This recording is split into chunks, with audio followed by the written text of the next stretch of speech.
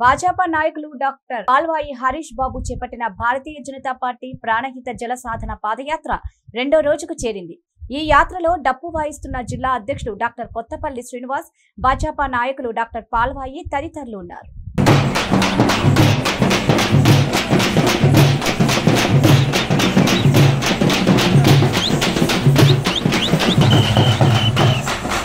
Thank you.